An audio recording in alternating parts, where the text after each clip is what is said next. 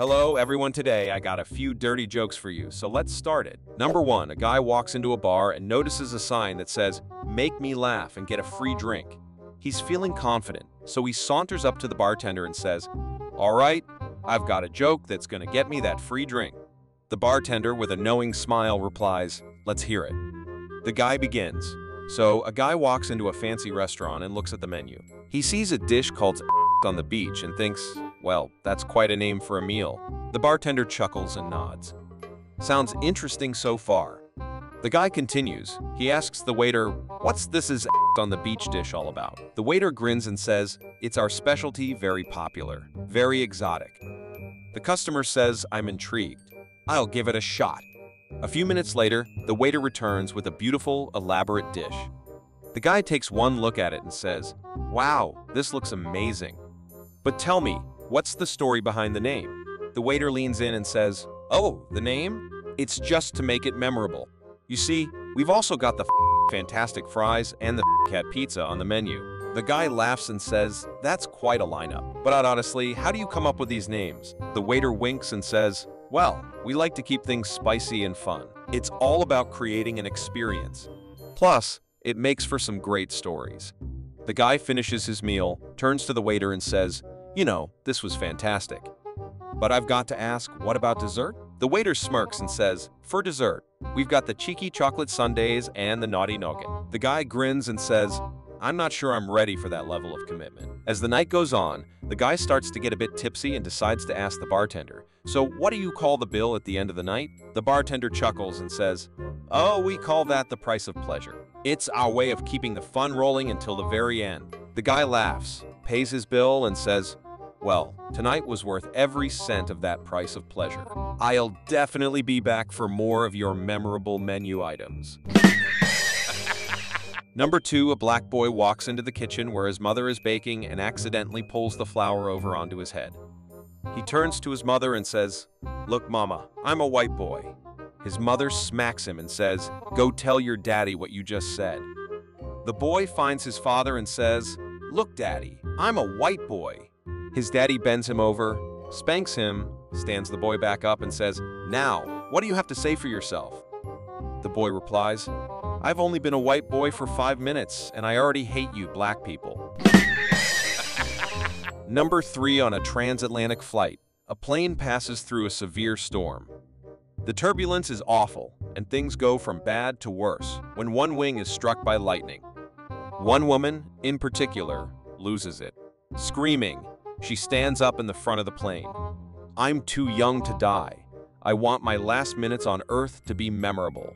I've had plenty of in my life, but no one has ever made me really feel like a woman. Well, I've had it. Is there anyone on this plane who can make me feel like a woman? For a moment, there is silence. Everyone has forgotten their own peril, and they all stare, riveted, at the desperate woman in the front of the plane. Then, a man stands up in the rear of the plane. I can make you feel like a woman, he says. He's drop-dead gorgeous. Tall, built, with flowing black hair and jet black eyes, he starts to walk slowly up the aisle, unbuttoning his shirt one button at a time. No one moves. The woman is breathing heavily in anticipation as the strange man approaches. He removes his shirt.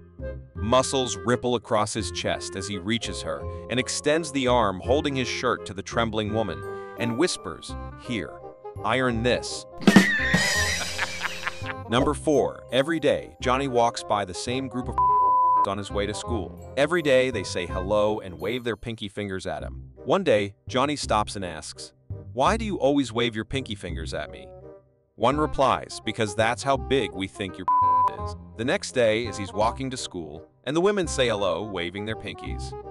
Johnny turns to them, puts his fingers in his mouth and stretches it as wide as it will go, while saying, Hi ladies.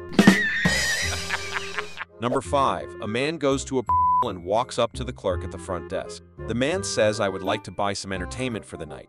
The clerk replies, I would recommend Jessica. She has won the 3RD floor, room 7. She is $250 for the night. The man replies, that's outrageous. I can't pay that. The clerk then suggests Vanessa on the 2N floor. He tells the man that she is $150 for the night. The man says, listen, I have $60. That's all I can pay. The clerk says, go down the left hallway here, and she will be in the last door to the left. The man pays and goes to the room. The girl is there and already on the covers. She is extremely hot. He rips his pants off and starts going to town. About a 10 seconds in, she starts foaming at the mouth and her eyes roll up. The man screams and runs out to the clerk. He tells him what happened. The clerk immediately grabs the phone and makes a call. He says, yeah, Tony, the dead one's full again. Number 6 reporter. Excuse me, may I interview you? Man, yes. Reporter? Name? Man, John Reporter. Man, three to five times a week. Reporter? No, no. I mean, male or female? Man? Yes. Male, female. Sometimes camel. Reporter? Holy cow. Man? Yes. Cow, sheep, animals in general. Reporter, but isn't that hostile? Man, yes. Horse style, dog style, any style. Reporter, oh dear. Man, no, no dear. Deer run too fast. Hard to catch. Number 7. A man was having premature problems, so he went to the doctor. The doctor said, when you feel like you're getting ready to try startling yourself. That same day, the man went to the store and bought himself a starter pistol and ran home to his wife. That night, the two were having and found themselves in the 69 position. The man felt the urge to and fired the starter pistol. The next day, he went back to the doctor who asked how it went. The man answered, not well. When I fired the pistol, my wife pooped on my face, bit three inches off my and my neighbor came out of the closet with his hands in the air. Number 8. It was Christmas Eve. A woman came home to her husband after a day of busy shopping. Later on that night when she was getting undressed for bed, he noticed a mark on the inside of her leg. What is that? He asked. She said, I visited the tattoo parlor today. On the inside of one leg, I had them tattoo Merry Christmas, and on the inside of the other one, they tattooed Happy New Year. Perplexed, he asked, Why did you do that? Well, she replied, Now you can't complain that there's never anything to eat between Christmas and New Year's? Number 9, a guy decides to do something nice for his girlfriend before they leave on vacation, so he gets her name tattooed on his he comes home and shows it to her. She looks at it and says, That's great, sweetie. But what as he tells her to rub it, and as she does, she sees it actually reads Wendy. When they arrive at Montego Bay, the couple are walking along a beach, and the boyfriend notices a black guy with Y on his He asks the man if he also has a girlfriend named Wendy. The black guy laughs and says, Nah, man. Mine says, Welcome to Jamaica, have a nice day. Number 10 Three brothers are traveling along a road and their car dies. They all get out of the car and start walking to a barn that's a little ways away. When they get there, the farmer comes out of the barn and offers them a room for one night. He says to the first one, you can sleep with the pigs. The second guy, you can sleep with the cows. And the third guy, I like the cut of your jib. You can sleep with my 18 daughters. The next morning, he asks everyone how they slept. The first man said, I slept like a pig. The second man said, I slept like a cow. The third guy said, I slept like a rabbit. I jumped from hole to hole to hole. Number 11. A farm boy who had just finished his schooling on the farm was sent by his mom P to the big city to go to college. The first thing the boy does when he gets to town is go to find a he goes inside to talk to the madam about getting a girl. She leads him upstairs, opens the door to a room, and tells him to sit and wait for the girl to arrive. After several minutes of anxious waiting, a young, blonde comes in. The boy is beside himself, and he leaps up from the bed, grabs the television, and throws it out the window. The girl thinks this is odd behavior, but she shrugs it off and begins to undress. As she strips, the farm boy runs over, grabs the nightstand, and throws it out the window. Again, the girl thinks this is odd, but being an experienced she figures it's a fetish and continues disrobing. The girl removes her and with that, the farm boy grabs the entire bed and starts lugging it toward the window. The girl, figuring this is one even she hasn't heard of, finally asks, What the hell are you doing? The farm boy replies, Ah, ain't never been with no woman before, but if it's anything like sheep, we gonna need all the room we can get. Number 12. The two old coots were both only a year short of retirement from the assembly line. But one Monday morning, that didn't keep Joe from boasting to Manny about his endurance. Three times, gasped Manny admiringly. How'd you do it? It was easy. Joe looked down modestly. I made love to my wife, and then I rolled over and took a 10-minute nap. When I woke up again, I made love to her again and took another 10-minute nap.